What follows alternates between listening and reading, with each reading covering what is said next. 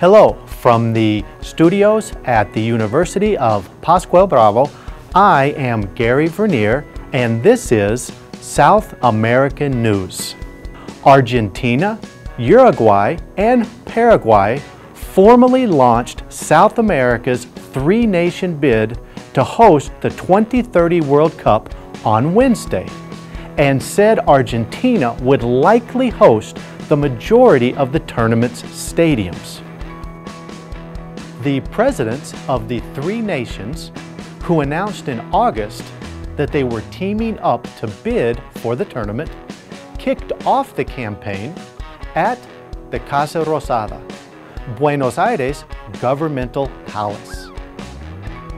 They said that the bid would likely involve two or three stadiums in Paraguay and Uruguay and six to eight stadiums in Argentina. They also played up the appeal of the World Cup returning to Uruguay where the first tournament was held in 1930.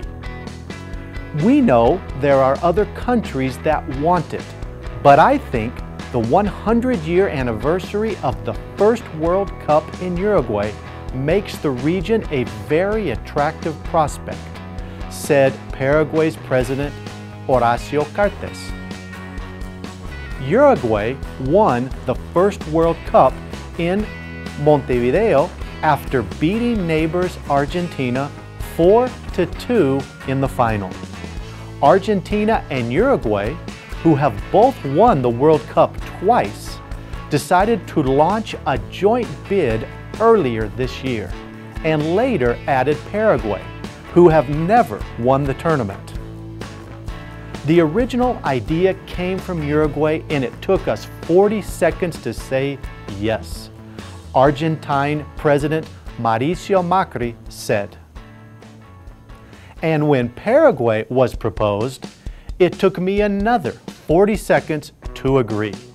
Uruguay was also very positive about their inclusion, and I think that gives the candidacy more power.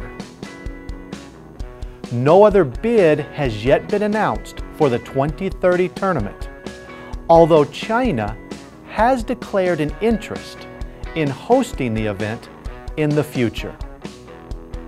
FIFA President Gianni Infantino met with the three leaders in Buenos Aires earlier in the day, but did not take part in the news conference.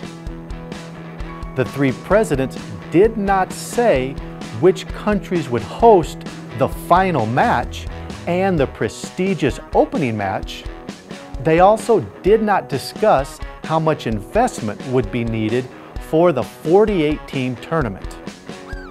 A first formal planning meeting will be held in early November, Cartes said. This has been a South American News Report. Good day